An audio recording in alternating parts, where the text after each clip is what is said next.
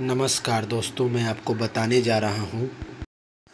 Railway की पटरियाँ, slippers, ये सब कहाँ पर बनती हैं?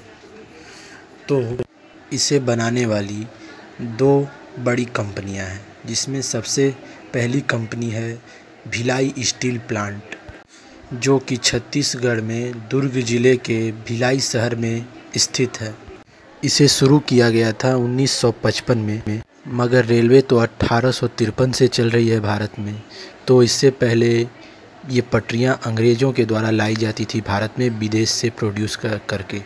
उसके बाद जब भारत आज़ाद हुआ तो उसके आठ साल बाद इस फैक्ट्री को खोला गया। तब से ये फैक्ट्री रेलवे को अपनी सेवाएँ दे रही है।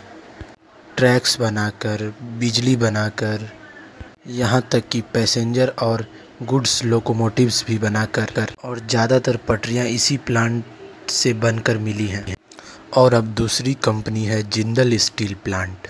ये पहले सिर्फ़ बिजली बनाकर देती थी, मगर इधर कुछ सालों से रेलवे के पटरी बिछाने के काम में तेज़ी आई, जैसे डेडिकेटेड फ्रेट कॉरिडोर बनाने के लिए या नए लाइंस बनाने के लिए।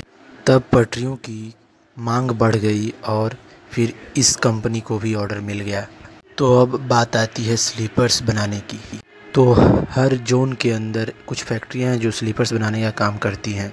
इसका लिंक डिस्क्रिप्शन में है, आप वहाँ से सारी फैक्ट्रियाँ देख सकते हैं। तो देखने के लिए धन्यवाद। Thanks for watching please subscribe कृपया सब्सक्राइब कर लें।